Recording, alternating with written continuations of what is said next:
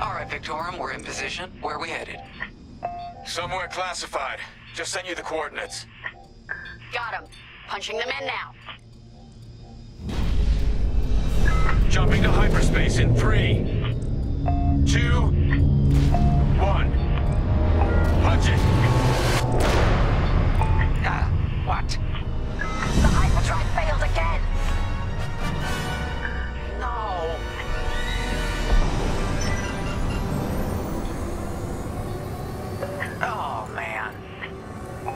we gotta get there now.